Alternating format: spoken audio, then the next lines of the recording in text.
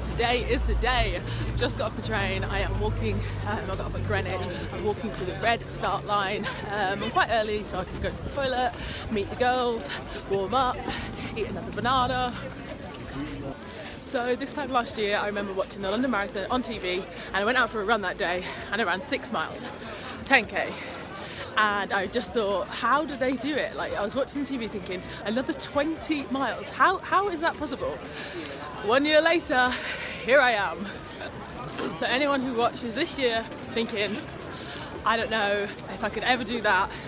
If I can do it, so can you. Guys, she's here. Ah, today's the day. We're doing it. Look at this.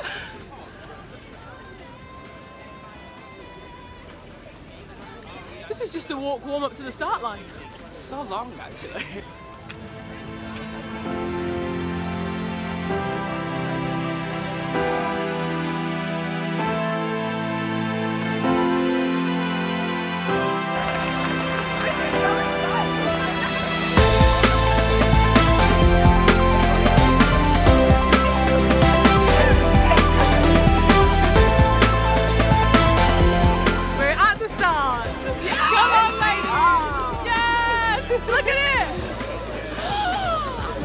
my gosh.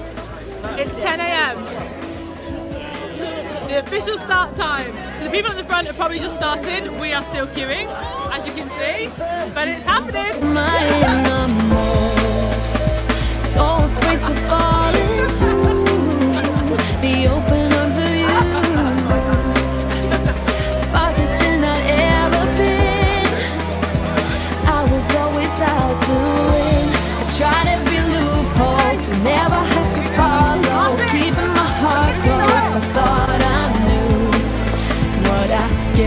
Myself into.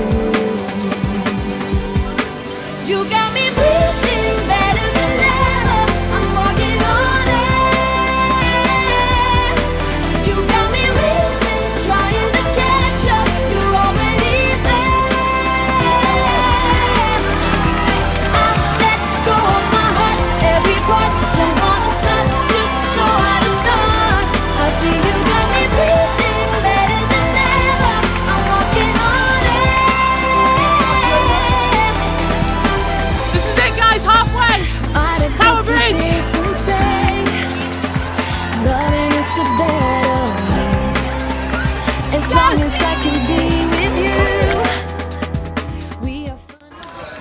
Guys, they said this would happen at mile 18, and it's happening to me.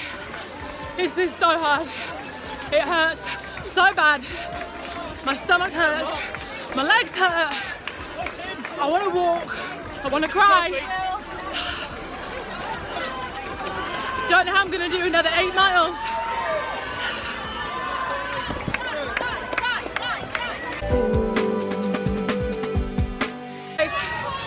Mile 23. This pain is so bad. I want to run. My le- my mind wants to run. My legs can't do it. So painful. Literally just crossed the line, guys. Oh my gosh, that was the toughest thing I've ever done in my entire life. I've never felt such pain like that. But I finished. I don't know how. Don't know how I got to the end, but I finished. Thank you everybody that cheered and supported and oh my gosh, don't know how I got here.